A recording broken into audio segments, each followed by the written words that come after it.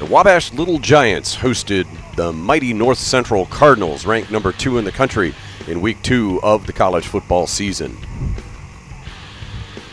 It was a tough day for Wabash, but a little excitement for the fans here. Liam Thompson laterals it to Heisman Skeens, who throws a 16 yard touchdown pass to Donovan Snyder.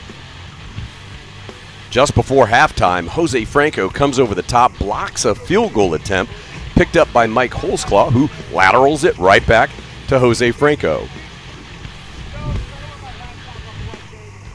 Liam Thompson faced a ton of pressure in this game.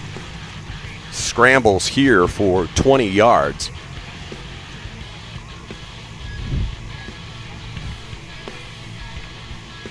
Liam waits for it, waits for it, pump fake. It hits Penn Stoller down the field for 30 yards. Penn had a big breakout game, five catches for 60 yards.